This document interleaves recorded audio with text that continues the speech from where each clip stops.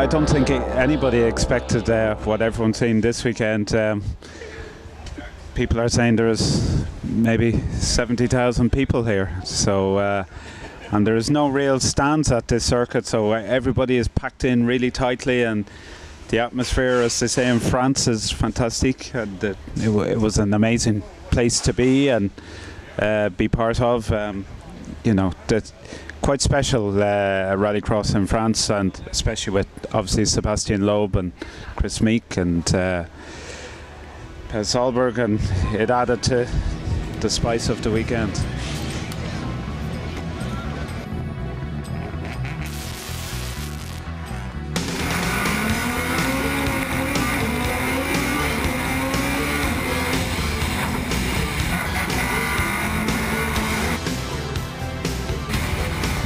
Yeah, we had to pass cars uh, a couple of times in the heats yesterday, um, but the feeling was good. The car was really good, and then we worked on our starts. And when we got the lead, we could and some clear track.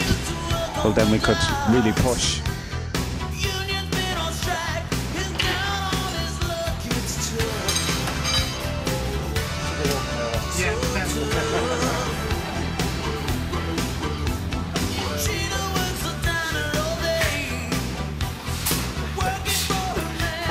Yeah.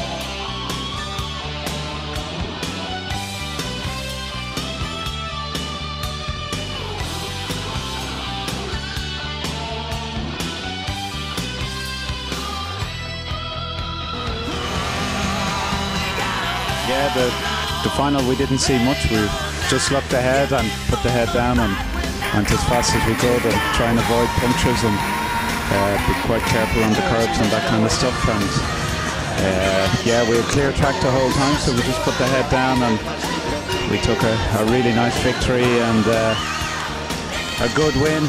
Really good for a championship. Maximum points in the heats.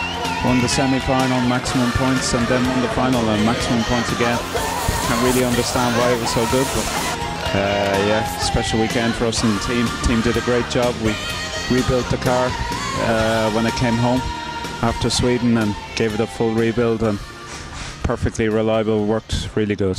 So thank you to everybody.